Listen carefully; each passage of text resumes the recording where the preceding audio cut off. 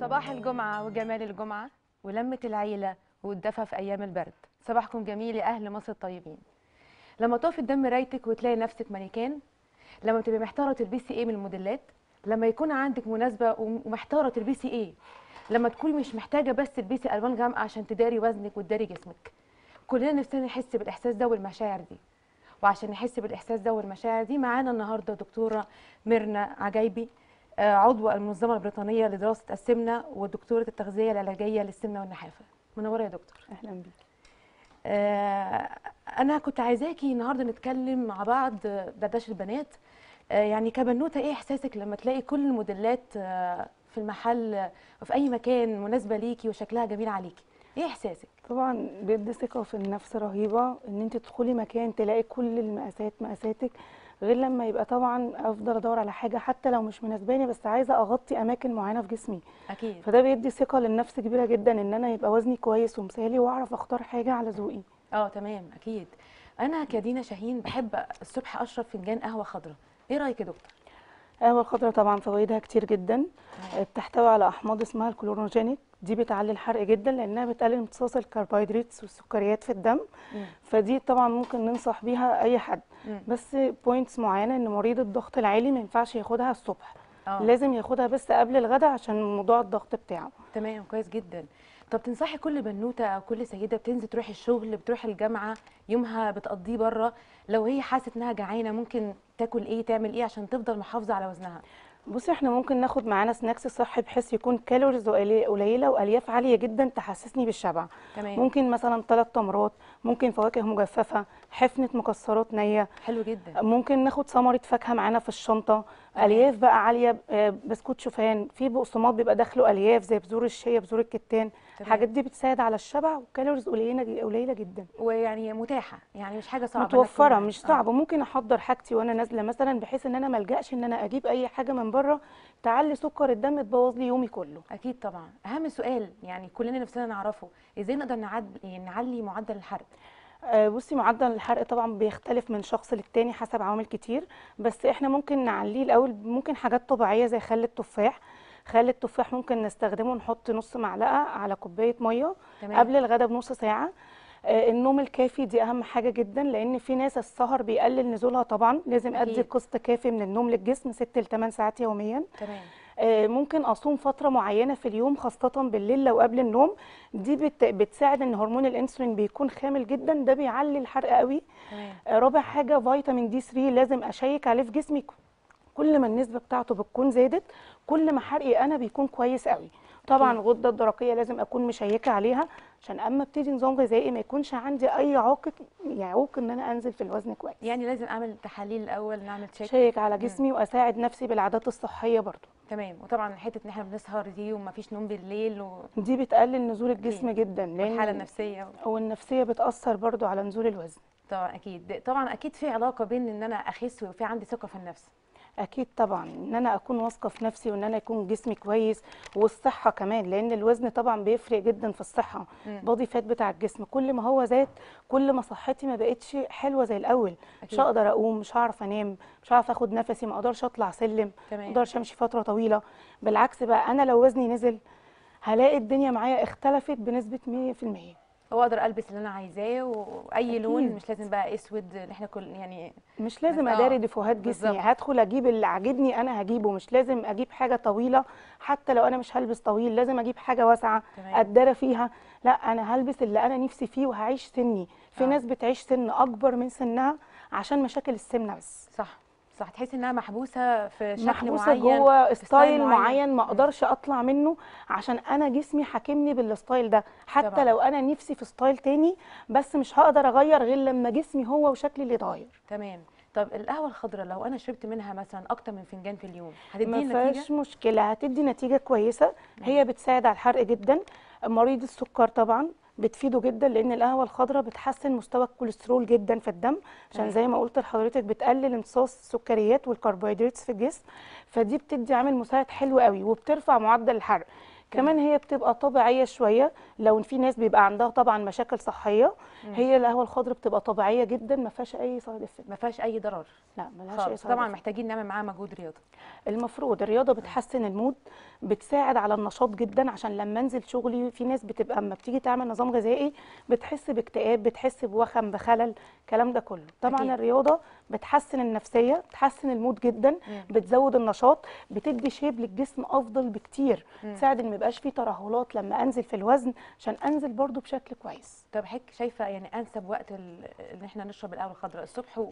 وإمتى تاني إحنا ممكن نشربها قبل الفطار وقبل الغداء بس مريض الضغط العالي ممكن ياخدها قبل الغداء بس عشان بياخد الدواء بتاعه المفروض قبل الفطار يظبط بيه بس معدل ضغطه. تمام. لكن الناس العادية ممكن تاخدها قبل الفطار قبل الغداء في ناس لو قاعدة بالليل مثلا عايزة تشرب حاجة سخنة الشتاء طبعا داخل علينا.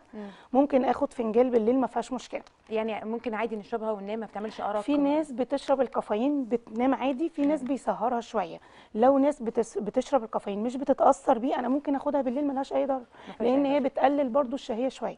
القهوه الخضراء بتساعد على برضو إن أنا نفسي تقل شوية لأن إحنا لما بنسهر بالليل بنجوع أكتر أكيد فالمفروض إن أنا آخد حاجة تقفل معايا طالما أنا ظروفي بتسمح إن أنا أسهر بالليل آه فممكن آخد بالليل عادي وإن تمام أنا... لكن آه. الناس اللي بتنام بدري إن أنا آخدها مثلا الصبح قبل الفطار عشان أبقى نشيطة طول اليوم بالظبط. وأعرف أنام بالليل برضو يوم بالظبط طيب يا دكتور يعني تنصحي البنات في يعني يعملوا إيه أكتر مثلا رياضة إيه معينة تنصحيهم بيها؟ تبقى حاجة مثلا مش مضطرة أروح الجيم آه، مش مضطرة أنا مثلا إن أنا أنزل من بيتي مخصوص لو أنا عايزة أعملها جوه في شقتي. تنصحينا بإيه؟ إيه رياضة معينة ممكن نعملها؟ إحنا ممكن لو إحنا مثلا بره بنشتغل بدل مثلا إن أنا آخد مواصلة من مكان لمكان أنا ممكن أمشيها. لو عندي عربية ممكن مثلا أركنها وأتمشى الحتة دي. تمام. لو أنا قاعدة في البيت ممكن أي وقت فاضي طبعا النت واليوتيوب مال الدنيا ممكن أجيب أي فيديو من عليه أعمل رياضة آم، في تمارين زومبا في كذا حاجة إن أنا أعملها. بس أنا لازم أخصص وقت معين في يومي لنفسي ولصحتي ولجسمي. والكلام ده. أهم حاجة يكون في وقت كل يوم يوميا أو مثلا ثلاث أيام أو ممكن يوم ويوم نص ساعة يوميا. الصبح الرياضة بتبقى أفضل بكتير من بالليل. تمام. بيبقى في نشاط الحرق بيبقى أفضل الكلام ده كله. طيب آه، حضرتك تحبي آه، مثلا بالنسبة لل الن- النصايح عامة بقى. يعني آه، مثلا لو عايزين نعمل جدول هنمشي عليه إيه النصايح الأساسية اللي هتديها لنا نمشي عليها؟ إحنا ممكن نبتدي يومنا بس بحاجة هيلسي وجبة الفطار هي أهم وجبة. لو خدت يعني بصي هو دي بتختلف برضو من شخص للتاني بس هي بس الفكرة في نوع الأكل ذات نفسه. أنا ممكن تمام. آخد حاجة سعراتها عالية جدا وهي حاجة قليلة. تعلي الأنسولين جدا وسكر الدم هبتدي أجوع طول اليوم. ممكن آخد حاجة بقى مثلا يعني بيضتين مسلوقين مم. قطعة جبنة قريش ست معالق فول وبيضاية. ده بروتين عالي. ممكن آخد النشويات معاه قليلة. دي. هتديني إحساس بالشبع؟ هعرف أظبط يومي طول اليوم. كله. الفطار أهم حاجة. الفطار البداية هي اللي بتظبط لي بقية اليوم. تمام. دي أول حاجة. تاني حاجة أنا ممكن قبل ما أنام زي ما قلت أريح شوية بس من الأكل. أهدي إفراز هرمون الإنسولين جدا. تمام. ده بيساعد على رفع ال growth hormone في الجسم وزيادة معدل الحرق قوي. تمام. في فكرة تاني إن أنا مش هينفع أقعد فترة كبيرة من غير أكل. في ناس قلة الأكل بتجيب معاها نتيجة عكسية. أيوه. بتيجي بقى تبتدي تقعد تاكل هي الجسم محروم بتاكل بزيادة. تاكل كل حاجة. أشغل حرقي ب snacks خفيف جدا ثمره فاكهه حفنة لب سوري كوباية لبن كوباية زبادي تمام. ممكن كوباية قهوة مع dark chocolate ثلاثة تمر. الحاجات دي بترفع معدل الحرق على كل ثلاث ساعات أو المد- المدى البعيد. الإحساس بالجوع. بتقلل الإحساس بالجوع. طبعا المية أهم حاجة عشان إحنا داخلين على الشتاء. في ناس في الشتاء بتقلل شرب المية. تمام. شرب المية عامل مساعد جدا للبشرة للشعر عشان لما أجي أنزل في الوزن وشي ما يخسش ما يبقاش باهت شوية وبترفع معدل الحرق جدا. قد إيه بقى مية في اليوم المفروض كل نص ساعة كوباية مية عشان الجسم يحتفظ بيها. تمام. في ناس لما بتشرب مرة واحدة المية بتنزل في التويليت كلها مم. يبقى أنا ما عملتش حاجة. ولا أي حاجة. أقسم شرب المية أفضل لي وبالذات في الشتاء إحنا بننساها. فالأفضل إن أنا طول ما أنا شغالة أو في مكان أو ماشية معايا إزازة مية. حتى لو هاخد بق أحسن من إن أنا أعدي عليا يوم كامل أفتكر إن أنا ما- ما خدتش مية نهائي. طبعا. ده غلط جدا على الجسم. وبيقلل معدل الحرق. بيقلل الحرق والجلد بعد كده بيكرمش الكلام ده كله. بي- بتيجي زي شيخوخة مبكرة. تمام. البشرة الشعر جفاف في الجلد. في جفاف في الجلد. والمية مهمة جدا. دي نقطة. آه، في نقطة تاني إن أنا أقوم من على الأكل حتة فاضية في معدتي. يعني ما أقعدش آكل لحد ما المعدة زي البالونة بالظبط. بق زيادة لقمة زيادة معلقة زيادة هي بتفضل تفتح وأنا مش حاسة. مم. تاني يوم ألاقي نفسي خدت كمية أكبر. تمام. فأنا المفروض أشبع أقوم مش أقعد لحد ما أخلص الأكل اللي قدامي. تمام. والغدا ممكن يبقى عبارة عن إيه؟ لو أنا مثلا بره البيت. الغدا ممكن لو أنا بره البيت برضو آخد حاجة هيلثي شوية. ممكن آخد صدر فرخة مشوي مع سلطة مع 3 4 معالق رز ممكن سمك مشوي. أسهل حاجة لو أنا في شغلي ممكن مثلا علبة تونة ممكن بيضتين مسلوقين لو. ما فطرتش بيض. ممكن أخدها آخد أي بروتين وأقلل بس الكربوهيدرات شوية. هتلاقي الدنيا ظبطت. لما أروح بالليل ممكن حاجة بقى خفيفة كوباية لبن زبادي ثمرتين فاكهة وبعديها بثلاث ساعات وأنام. دي بتفرق قوي في معدل الحرق. وال- والعشاء طبعا بيكون مثلا ممكن شوفان آه، ممكن بروتين لو آه. أنا جعانة ممكن مم. أتعشى برضو سمك أو صدر فرخة قطعة لحمة مشوية تمام. لو أنا مش جعانة بروتين تاني خفيف بيضاية مسلوقة قطعة جبنة قريش كوباية زبادي كوباية لبن الحاجات دي كلها برضو ما فيهاش مشكلة بيها يعني تقريبا ثلاث وجبات أساسية وبس في وممكن اتنين النص. snacks في النص عشان ما أقعدش بس فترة من غير أكل كمان تمام. في ناس بتتعب جيلها هبوط ما بتقدرش تشتغل ما بتقدرش تكمل يومها لو قعدت فترة كبيرة من غير أكل آه يعني ده ال power. بصي ما فيش عربية بتمشي من غير بنزين. أنا لو ما. اديتش بنزين مش همشي. مم. في ناس تقول لك أنا هقرر أخس أنا هوقف أكل. أنا لو وقفت أكل أنا مش هخس. أو سمعنا عن رجيم المية و... في ناس جسمها بيعاند على قلة الأكل آه. بيخزن دهون. لأن إحنا صح. جسمنا بيحرق من مخزن الدهون. مم. فأنا المفروض أدي بنزين عشان أحرق. أنا تمام. مش بدي. فجسمي بيعاند. وبعدين في ناس بيجي لها حرمان. تصحى بالليل تقول لك أنا بفتح التلاجة وباكل وأنا مش حاسة بنفسي مم. مش حاسة بنفسك عشان حرمنا جسمنا طول اليوم فدي مم. حاجة تلقائية ما بيصدق يلاقي أي حاجة وباكل بقى وأنا مش واخدة مش بالي قادر ممكن يميز حلو على حادق أنا عمالة آه. آكل آكل آكل عشان أنا جسمي محروم مم. طبعا آه، حتة الحرمان دي بتعمل نتائج عكسية وللأسف الناس مش مدركة ده لا أنا هعمل رجيم وهاجي على نفسي أيوة. واخس ولما بتوقف ال diet بترجع تاني زي وفي. كمان فكرة تاني. ممكن الناس تاخد يعني هي مش بالكمية بالكيفية. مم. أنا ممكن أصحى أنا هاخد مثلا كوباية شاي بلبن مع قطعة كيكة مع مثلا protein bar أي حاجة تاني. تمام. ال calories دي عالية جدا وما شبعتنيش. مم. بس أنا كده فاهمة إن أنا ما أكلتش. آه. أنا خدت حاجة خفيفة. أيوه. دي دي بتعمل إيه؟ دي تعلي سكر الدم جدا تعلي الإنسولين الجسم يبتدي يخزن في دهون بعديها ألاقي نفسي جعانة. آه برضو أنا عندي إيحاء إن أنا لسه هفطر. بعديها بساعتين هاكل تاني. بالليل أنا هتعشى حاجة خفيفة.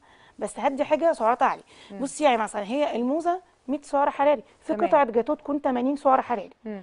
الجاتوه أكتر من الموز بس الموز ده يتحرق في جسمي عشان ده طبيعي. قطعة الجاتوه بحالها ممكن تروح في مخزن الدهون صافي بتاعي. تمام. هي الناس مش عارفة السكر تميز. هنا وهنا مختلف. آه الناس مش عارفة إن ده دي أبيض وسكر وعسل والكلام ده. هي الناس مش عارفة تميز بين الكيفية مش السعرات. أيوة. تبص على حاجة دي سعراتها 100 سعر دي قليلة جدا. مم. بس ممكن المحتويات بتاعتها ما بتتحرقش في الجسم. تعلي آه. سكر الدم بتزود تعمل سمنه م- مفرطة. في أكلات بتعمل دهون ثلاثية تحت يعني الجلد. مش شرط إن أنا أبص على الكالوري نفسها. مش لا لازم أبص على نفسها. يعني إيه؟ ال component ذات آه. نفسها. أنا ممكن آخد نص فرخة مشوية مثلا طبق سلطه كبير طبق رز healthy الكلام ده كله. ال calories دي تكون أقل بكتير من مثلا سندوتش برجر بجبنة ب- ب- كايزر شيدر الكلام ده كله. ده أقل بكتير. أنا ممكن البرجر آكل اتنين تلاتة لكن الوجبة دي أنا ممكن ما أقدرش أخلصها. أيوه. وتشبعني أكتر ومش هتزود وزني. طب إيه رأيك في فكرة إن الناس تقول لأ هنبطل النشويات مش هناكلها خالص عشان نخس أسرع؟ بصي أنا لما بوقف النشويات خالص اولا الباور بتاع جسمي بيقل جدا هبوط زغللة الكلام ده كله. ثانيا بخس بسرعة قوي. بعد كده أول ما برجع للنشويات بزيد الضعف. إحنا مش هنقدر نمنعها لأن دي وجبتنا الرئيسية. راجع لها راجع لها. أنا بعد ما أرجع لها جسمي هيبتدي يزيد تاني. فالحل إن أنا أعمل إيه؟ أنا أقل عن احتياجي. يعني مثلا كنت بفطر رغيف في الفطار لا أنا ممكن أخليه نص أول أسبوع. تمام. باكل طبق رز كبير أنا ممكن أخليه ست معالق. أسحب من العشاء. لكن ما وقفش النشويات عامة. ميزاني هيتحرك حلو جدا هلاقي نفسي بخس بس هزهق وهرجع لها هرجع لها. هت- آه. أول ما أرجع لها الجسم هيزيد الضعف. تمام. بخس بسرعة برجع بسرعة. ترهلات بتزيد stretch marks بتظهر سيلوليت بيظهر الدنيا مش بتبقى حلوة. طب إيه أكتر حاجة في أي رجيم في النشويات بترشحيها دايما؟ بصي الفريك في ناس كتير مهملاه رغم إن مم. الفريك calories جداً. أقل جدا. تمام. الشوفان برضو ما فيهوش مشكلة. ال- الرز ممكن البسمتي سعراته أقل شوية من العادي. بعديه الرز العادي. أنا درجت بس النشويات. آه. آه بعديه آخرهم المكرونة طبعا. آخر حاجة المكرونة؟ أو أعلى دي calories أكتر حاجة. كلنا بنحبها. بتعلي سكر الدم جدا. فأنا ممكن آخد كميات قليلة والأكل برضو يكون بطريقة healthy مم. مش سمنة كتير ومقلي كتير طريقة. الطبيخ نفسها طريقة الطبيخ ذات نفسها هيلثي شوية. تمام. آه، دكتور الكلام معاكي بصراحة شيق جدا. وبجد. أنا يعني مستمتعة جدا بالحديث معاكي. إن شاء الله هتشرفينا بإذن الله أكيد في حلقة تانية. شكرا جدا ليك يا دكتور. شكرا. مع السلامة. فاصل.